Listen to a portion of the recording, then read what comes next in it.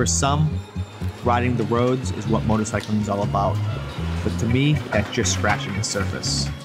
I want to experience life and get out there in the elements. And that adventure starts the moment I leave home. I feel alive when the revs come up and the clutch gets dropped. The rear tire starts spinning. I'm getting as close to that line of danger as I can, and I love it.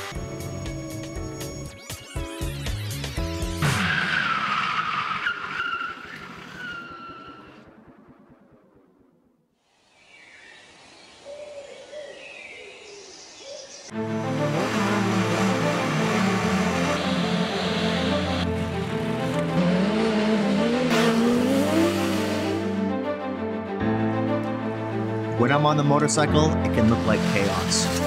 Rev limiter bouncing, tires smoking, rocks being thrown. But inside my helmet, I'm calm and focused.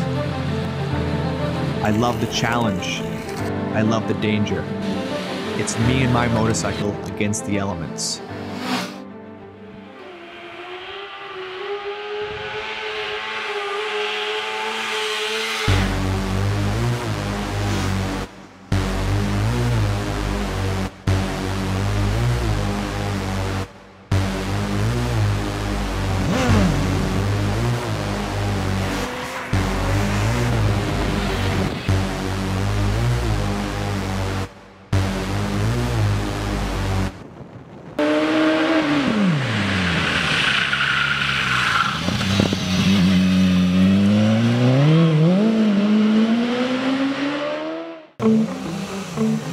When I'm out there on that bike, all my worries just melt away. At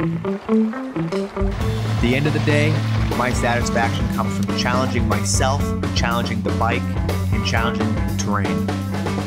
Get out there and make life a ride.